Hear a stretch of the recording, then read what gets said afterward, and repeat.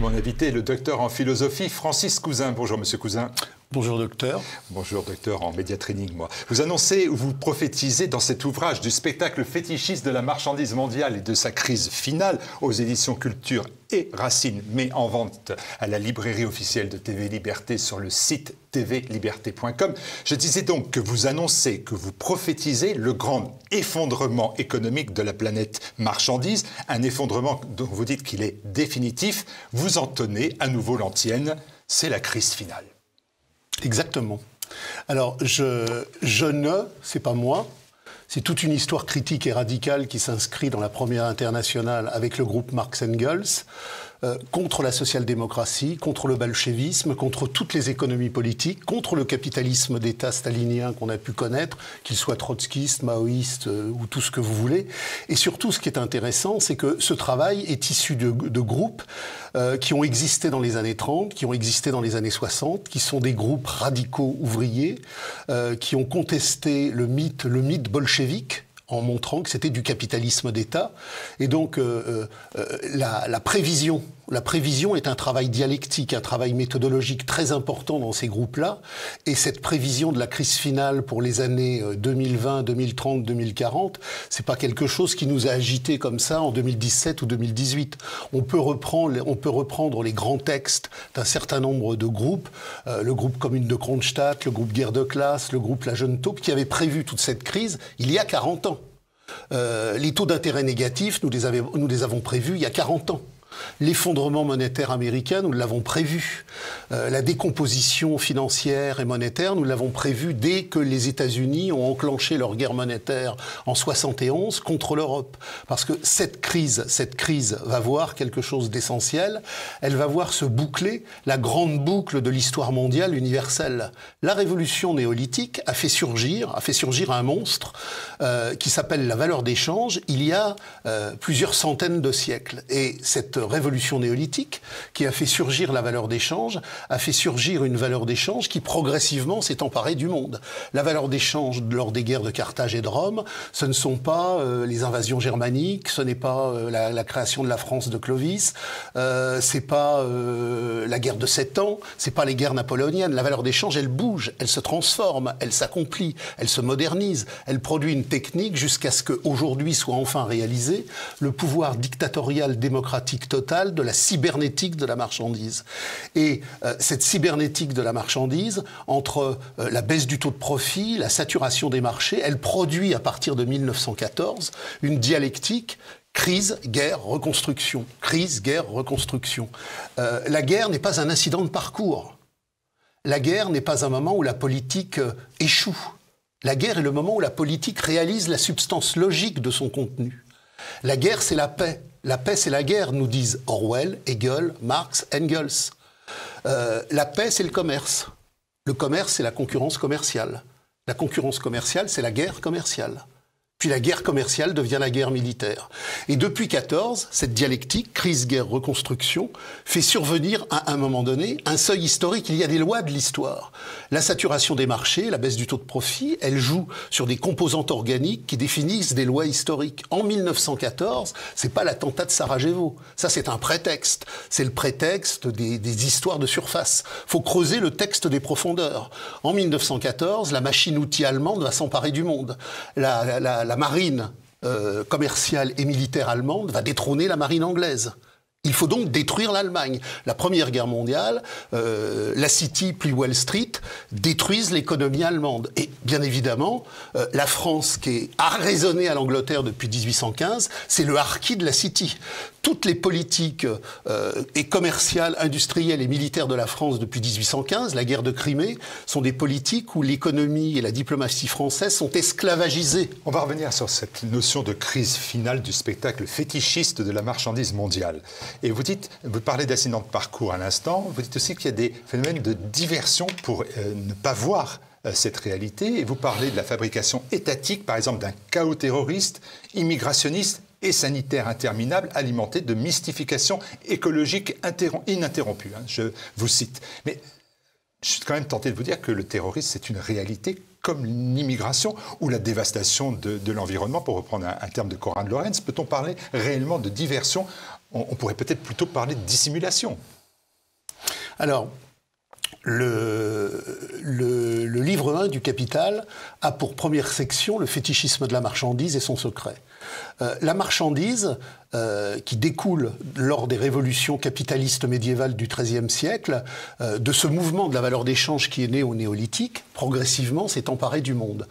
la marchandise, en 1914, s'est totalement emparée du monde, et régulièrement, régulièrement, la crise qui est, résulte de la saturation du marché mondial et donc de la baisse du taux de profit, fait que la demande solvable ne peut plus correspondre à l'expansion infinie du mouvement du capital. Le capital est donc obligé de détruire la suraccumulation de, capital, la suraccumulation de marchandises et la suraccumulation des hommes. C'est-à-dire que dans un charnier impérialiste mondial, on détruit les marchés extérieurs de l'adversaire, on détruit ses marchés intérieurs et on liquide des millions de prolétaires, euh, paysans bretons, ouvriers de la banlieue parisienne. Il y a un million en 100 000 morts, euh, puis on recommence en 39-45. Pourquoi on recommence en 39-45 Parce que la reconstruction qui a suivi 1918, elle rebute en 29-30. On a retrouvé des balances commerciales, on a retrouvé une baisse du taux de profit, on a, on a retrouvé une saturation des marchés. Il faut redétruire la surproduction. Puis ainsi de suite, ainsi de suite. Euh, en 1971, en 1971, les balances commerciales américaines et japonaises sont rétablies.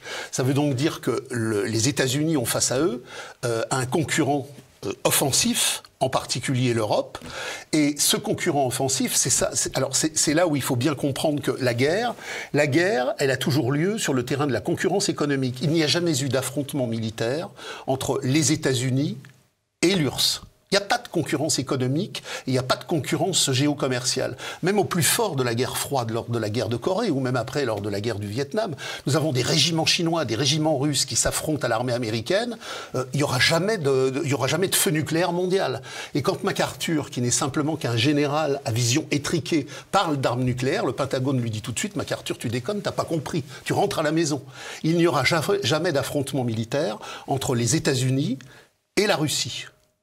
Euh, et d'ailleurs, euh, je, reviendrai après sur le reste, mais la crise ukrainienne aujourd'hui est une guerre pour détruire l'Europe. Elle est organisée par le Pentagone pour détruire l'Europe. Euh, de la même manière qu'à partir des années 72-73, époque Pompidou, l'impérialisme américain a systématiquement détruit les zones de coprospérité franco-iranienne, franco-irakienne. On a au bout du rouleau, au bout du rouleau, la volonté de détruire l'Europe. L'amiral Sanguinetti, qui travaillait à l'OTAN, l'amiral Sanguinetti, qui était donc le frère d'Antoine Sanguinetti, avait dit à plusieurs reprises, j'ai rencontré des correspondants américains qui m'ont dit, de toute façon, nous n'avons qu'un seul ennemi, c'est vous, un jour il faudra vous détruire. De la même manière que l'Angleterre devait détruire l'unité européenne possible, de la même manière que l'Angleterre, euh, depuis euh, la guerre de Cent Ans, puis les guerres napoléoniennes, a toujours voulu détruire, détruire, détruire la puissance française et la puissance Euh, une parenthèse, Marcel Kébir, nous avons tous les documents déclassifiés qui prouvent que euh, Churchill savait pertinemment que la flotte de Marcel Kébir était neutralisée et que les Allemands ne la voulaient pas. On n'a pas détruit la flotte à Marcel Kébir parce qu'il fallait effectivement empêcher les Allemands de la prendre, ils ne la voulaient pas c'est délibérément une politique de la Navy et de Churchill pour détruire ce concurrent français qui, depuis des siècles et des siècles, pose problème à l'unité européenne. Francis vous n'avez pas répondu à ma question néanmoins. Vous dites, voilà, il y a des phénomènes de diversion, je les comprends bien, ces phénomènes-là, ils existent néanmoins. Terrorisme. Alors, le, terrorisme, le, le terrorisme individuel, euh, de ma crise de folie avec un couteau euh, autour d'une poubelle, euh, c'est possible. Le terrorisme de masse est, une industrie de masse du capitalisme mondial. Il y a un acteur principal. Moi, je pensais être un acteur secondaire. dans votre ouvrage et dans votre pensée, il, apparaît comme acteur principal. Il s'appelle Emmanuel Macron. Et, vous n'avez pas de mots assez durs, d'ailleurs, pour le, président réélu, avec 58,5% des suffrages, le dérisoire employé de banque élyséen aux ordres de la classe capitaliste mondialiste qui, qui participe aux raquettes étatiques planétaire. C'est un acteur principal? Pas du pas tout. simplement un, acteur tout court? Il y, a, une vision politique droitiste euh, qu'il faut remettre en cause euh, profondément.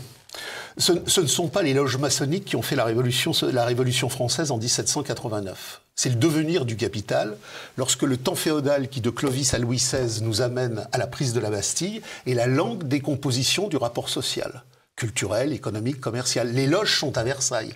Mais ce n'est pas les loges qui font la révolution. C'est la nécessité objective de renverser un féodalisme qui est mort pour, par la révolution capitaliste de 1789, fonder le nouveau régime. Donc les loges existent, mais elles ne font rien. Bilderberg existe.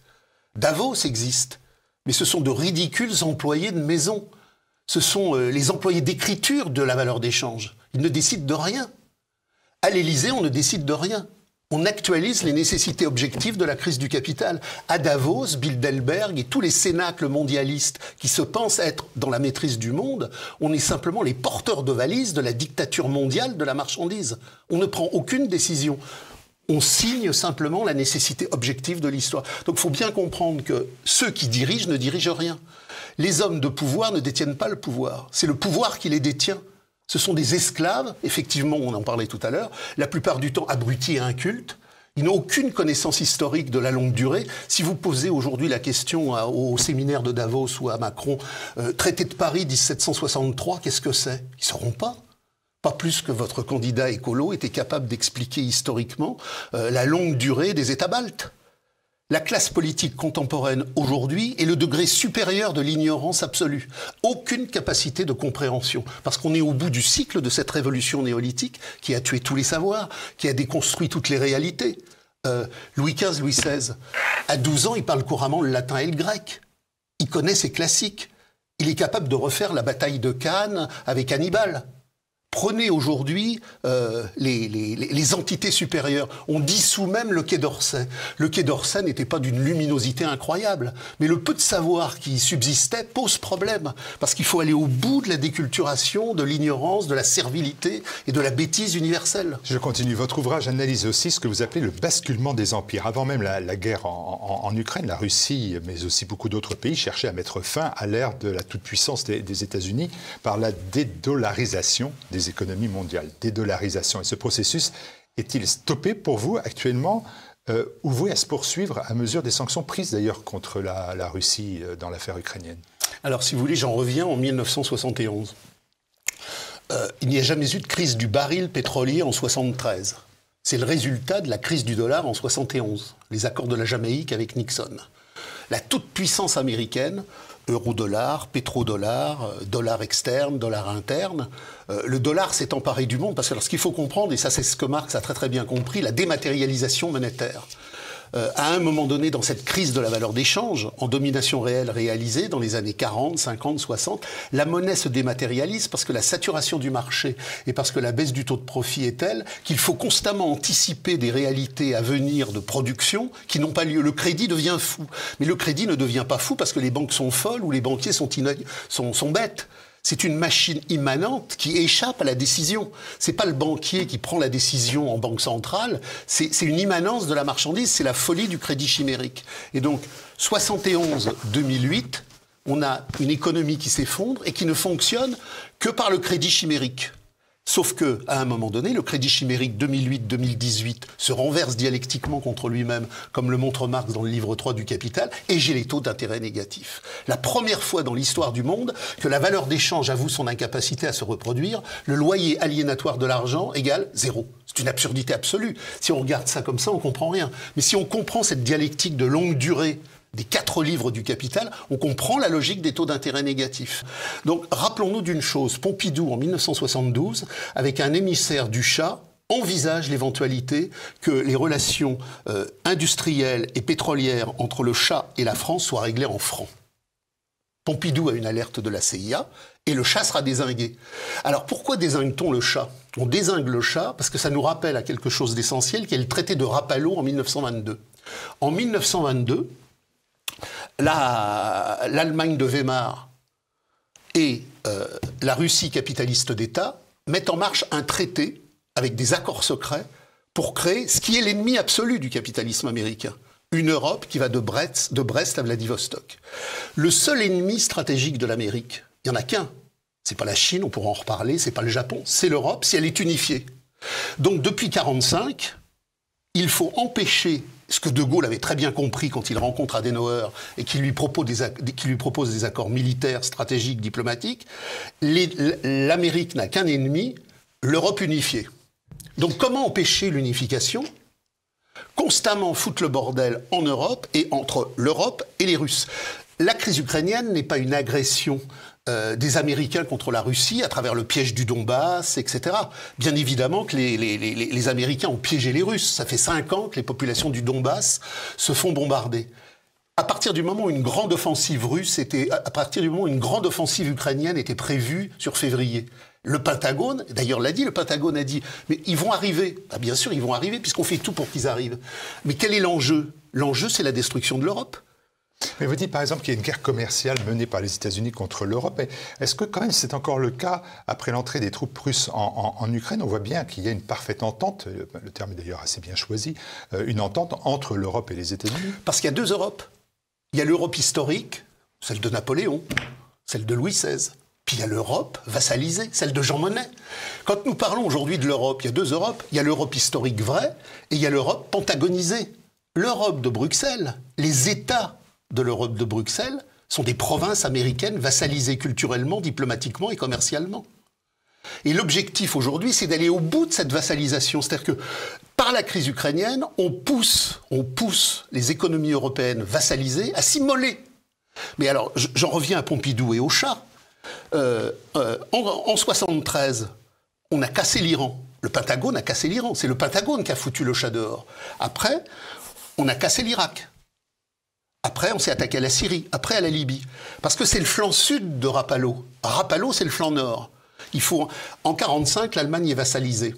Le traité de 22, Rapallo, Berlin, Moscou, n'est plus possible, puisque Berlin est interdit de géopolitique mondiale.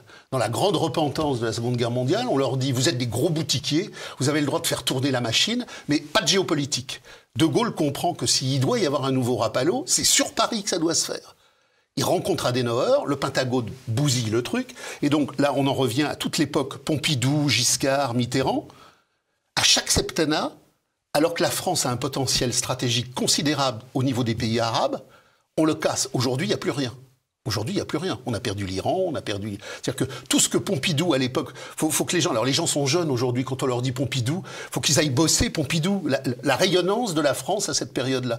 Et puis on continue dans les années 90-95. On détruit la Yougoslavie. Pourquoi on détruit la Yougoslavie? Parce que la Yougoslavie, c'est la Serbie. C'est le lien stratégique entre Paris et Moscou. On crée une Bosnie musulmane de la CIA, un Kosovo musulman de la CIA. Il faut détruire l'Europe rappelons-nous toujours ce que disaient les, représentants américains, l'amiral Sanguinetti. Donc aujourd'hui, c'est simple. Dans le cadre de cette crise finale, le dollar va s'effondrer. C'est le premier moment de la crise finale. Le dollar, pour ne pas s'effondrer et pour que l'impérialisme américain, qui est en totale décomposition industrielle, commerciale et financière tienne, il doit détruire l'Europe. Ou l'Amérique détruit l'Europe, ou alors l'Europe dans un effort considérable, se met en situation de faire un rapalo avec Moscou et elle détruit l'économie américaine. Mais il y a une guerre à mort entre l'économie, française, européenne et américaine. Sauf que les seuls qui la font, c'est les Américains. Les Américains ont détruire la filière nucléaire française, détruire les filières industrielles, détruire les filières agricoles. Le, Pentagone travaille sur des projets de néantisation de l'économie française. Les, les grippes aviaires, manipulation étatique. Il y aura du canard en Pologne, du canard en Bulgarie, mais bientôt dans le sud-ouest, il n'y aura plus de canard. c'est un micro-détail. Mais, mais, tout, il n'y a plus de pêche française. Il n'y a plus d'armée française. Donc il faut bien comprendre qu'on est au cœur de ce que disait De Gaulle dans les écrits avec Pierre Fitt. Ce sont nos pires ennemis. Ce sont nos pires ennemis. Donc l'Ukraine, aujourd'hui, est un moyen pour faire basculer la Russie le plus loin possible de l'Europe, parce que si la, Russie, euh, retardataire, 50 ans de capitalisme d'État stalinien, alors d'énormes ressources, mais une économie industrielle encore très vétuste. Si cette économie est restructurée et modernisée avec le potentiel technologique de Paris et de Berlin, la première puissance mondiale est constituée et Washington tombe. Donc on est dans une guerre à mort. Alors les, les cinq années qui viennent, la question est simple. Est-ce que le dollar s'effondre? Est-ce qu'un nouveau Rapallo se fait? Et tout va se jouer là. Je suis désolé, malheureusement, on a le temps est assez court. J'aurais plein de questions encore à vous poser. Alors, je vais aller directement à l'épilogue de, votre ouvrage. Vous indiquez qu'il est des feux d'invariance radicale qui se préparent à tout embraser. On peut appeler à, l'insubordination euh, généralisée. Il n'en reste pas moins qu'il faut tenir compte de la situation politique euh, de la France, avec schématiquement trois blocs, dont celui de Mélenchon, que euh, vous désignez comme le fusilleur du prolétariat. Pourrez-vous rétorquer, euh, protégez-moi de mes amis hein. Alors, il faut en revenir à l'affaire Dreyfus. L'affaire Dreyfus, elle a un triangle. Clémenceau, Zola, Gallifet. C'est Clémenceau, Zola et Gallifet qui vont être à la, tête du mouvement de l'affaire Dreyfus euh, dans, ces, organisations supérieures. Euh, Gallifet, c'est lui qui va fusiller la commune de Paris. Clémenceau, c'est le faux cul qui est entre les deux camps. Et Zola, c'est celui qui produira des lettres ignobles sur les communards. La gauche du capital, la gauche progressiste, a voulu casser le mouvement prolétarien autour de la commune en disant au prolétariat ton ennemi, c'est pas la marchandise démocratique totalitaire qui arrive, c'est les vieux curés et c'est les vieux généraux il y a eu une diversion gigantesque qui s'est mise en marche à cette époque-là, parce que le mouvement ouvrier issu de la Première Internationale se battait pas contre les résidus de l'Ancien Régime. Il se battait contre la modernité démocratique totalitaire que Clémenceau allait organiser à la fois dans les, grèves massacrées de la fin du 19e siècle, et puis dans la grande boucherie, dans la grande boucherie de 14, où de Maurras aux anarchistes, tout le monde appelle à l'union sacrée pour que les prolétaires aillent au grand massacre. Alors, à partir de là, aujourd'hui, on a une carte, au regard des élections, on a une carte parfaite des luttes à venir. D'un côté, on a les. Alors, tout le monde connaît Guilluy et Fourquet. C'est déjà tout ça dans la question du logement de Engels en, 1872. Il y, a, il y, a, un partage territorial de la modernité de la marchandise qui reconfigure les espaces. On a les métropoles privilégiées de la mondialisation capitaliste, la classe capitaliste, les bobos intermédiaires, euh, les couches sous-cultivées qui s'imaginent cultivées dans l'université du, crétinisme infini de la marchandise, et les clientèles immigrées. On a le bloc contre-révolutionnaire en n'oubliant jamais que cette immigration de masse, la grande, armée de réserve immigrée dont parle Marx, le remplacement, le premier à avoir parlé de remplacement, Marx, 1868, euh, livre 1 du Capital, septième chapitre, septième section, chapitre 25, on remplace un prolétaire d'ici par trois immigrés de là-bas, un Yankee par trois Chinois. L'immigration n'est pas décrétée comme ça par hasard après 68. La grande grève sauvage que la gauche a eu un mal fou à piétiner. La, grève sauvage est arrêtée parce que euh, Krasuki et Chirac négocient sans arrêt pour casser le mouvement.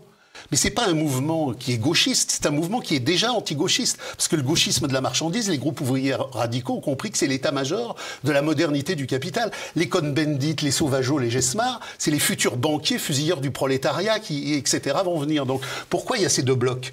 Il y a ces deux blocs parce qu'aujourd'hui, à la suite des Gilets jaunes, on a vu que le prolétariat a définitivement quitté la gauche. Le prolétariat pour 50% a voté Marine Le Pen, le prolétariat pour 50% s'est abstenu. C'est le prolétariat méprisé. C'est effectivement les sans réserve. C'est les gilets jaunes, c'est les hommes des territoires perdus de la mondialisation, et de l'autre côté, il y a les villes. Donc le terrain de l'explosion sociale, il vient. Parce que dans le cadre de cette crise ultime de la valeur des champs, la politique est morte elle ne reviendra jamais. L'économie est morte. L'idée, alors je vais, je, vais, vous titiller un petit peu, cette idée mythologique qu'on pourrait refonder la politique, refonder l'économie, refonder une économie saine, une banque saine, c'est fini. On est au bout du malsain de la valeur d'échange. Tout ça est pourriture. Ça n'est pas gérable. On est au bout de ce que Marx appelle la merde de l'économie politique. Tout va pourrir.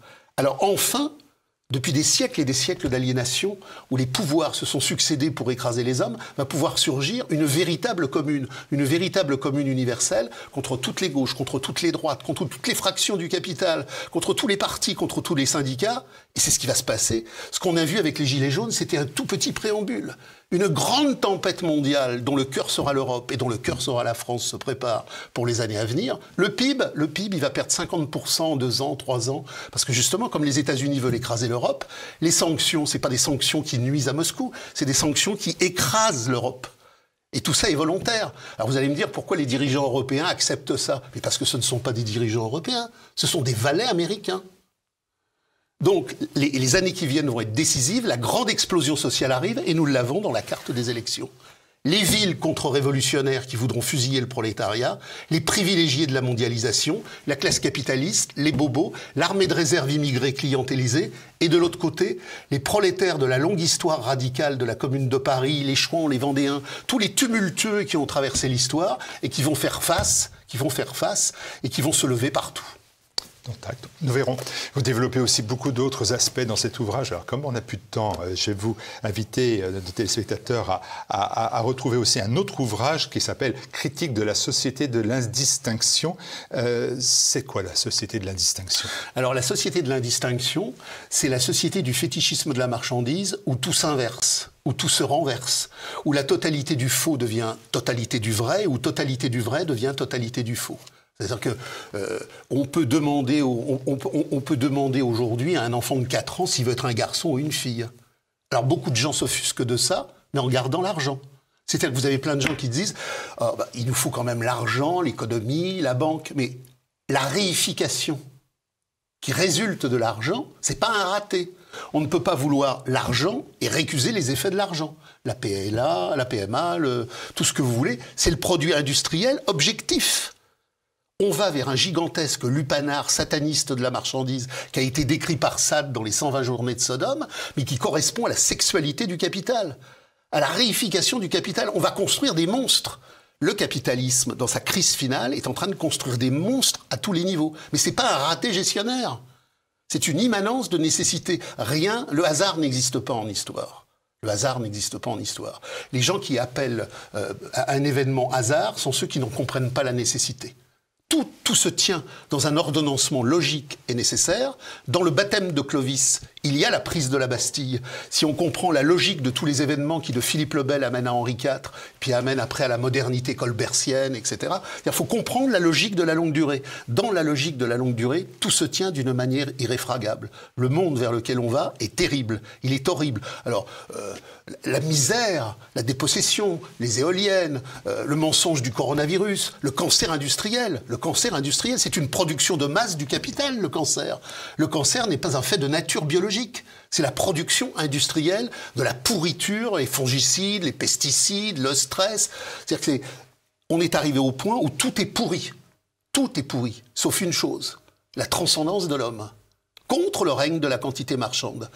Entre la transcendance de l'homme, sa vie intérieure radicale, l'être générique, et le règne de la quantité marchande, il n'y a pas de solution intermédiaire. Tous ceux qui veulent réhumaniser le règne de la quantité marchande se trompent et nous trompent. Merci Francis Cousin. On poursuit cette discussion à travers deux ouvrages du spectacle fétichiste de la marchandise mondiale et de sa crise finale, ainsi que, nous l'avons évoqué en quelques instants seulement, cette critique de la société de l'indistinction. Merci beaucoup.